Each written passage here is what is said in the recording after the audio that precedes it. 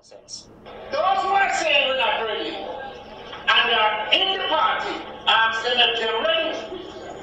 Because I know I'm ready, I know I'm ready, and the MPs that are around, we are ready, and those who feel they're not ready, they're not saying they're not ready, you know. They're saying you're ready.